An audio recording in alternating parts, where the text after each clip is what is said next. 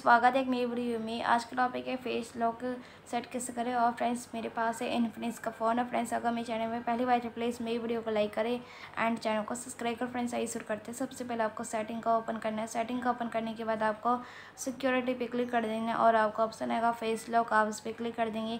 जो भी अपना स्क्रीन लॉक लगा रखे उसे ड्रॉ करेंगे एंड इसके बाद आपका ऑप्शन आएगा फेस लॉक एरल फेस आप उस पर क्लिक कर देंगे एंड आप चश्मा पहन कर सेट करें तो आप उस पर क्लिक कर देंगे। बस तीन, दोनों क्लिक नहीं करना, आप सभी इन सब वाला सेट कर सकते हैं। नेक्स्ट पे क्लिक कर देंगे और मैं सेट कर ही दे सकते हैं।